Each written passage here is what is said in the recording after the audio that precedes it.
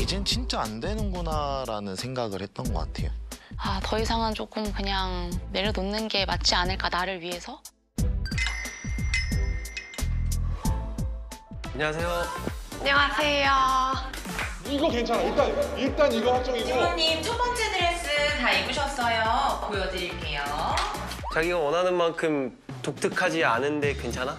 그러니까 이런 느낌인지는 모르겠어. 헤어지지 않고 잘 사는 모습을 좀 보여드리고 싶어서 아 진짜 괜히 진짜 떨리네. 동거남녀 입장.